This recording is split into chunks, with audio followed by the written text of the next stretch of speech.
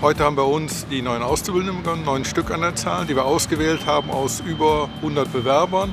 Die sind durch ein mehrstufiges Bewerberverfahren gelaufen, was schriftliche Tests beinhaltet, persönliche Gespräche, eine Selbstpräsentation sowie einen Sprachtest.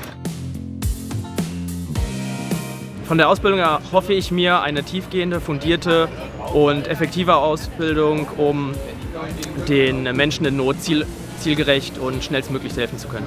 Ich habe mich dafür entschieden, weil ich zum einen schon immer ein natürliches Interesse für die Humanmedizin hatte und besonders die Notfallmedizin.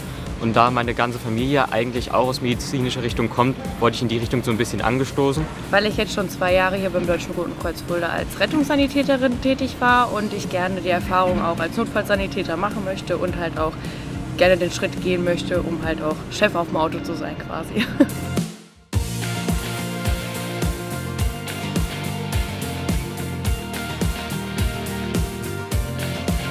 Notfallsanitäter ist mittlerweile ein sehr attraktiver Beruf, der auch sehr gut bezahlt wird. Bei so einem Verband wie dem DRK in Fulda, bei der Größe mit dem ganzen Spektrum, was wir anbieten, besteht auch immer mal die Möglichkeit, wenn jemand dann doch mal aufgrund von Gesundheit oder so in eine Situation kommt, wo man ihm mit einer anderen Stelle weiterhelfen muss, ist man da bei einem sehr großen Arbeitgeber, der da auch Möglichkeiten hat,